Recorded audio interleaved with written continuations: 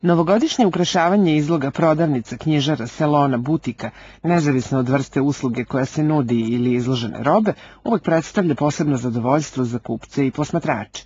Prizor uobičajenih novogodišnjih simbola, koji uvek izgledaju novo i raskošno, nudi specifičan estetski užitak, svojstven kulturi urbane sredine zapadne civilizacije. U Paraćinu je lokalna samouprava prepoznala estetski i kulturni značaj novogodišnjeg ukrašavanja izloga i već nekoliko godina on se zvanično vrednuje. Ove godine komisija je najlepšim proglasila izlog frizerskog salona S u Teslinoj ulici i vlasniku će biti dodeljena novčana nagrada u visini od 15.000 dinara.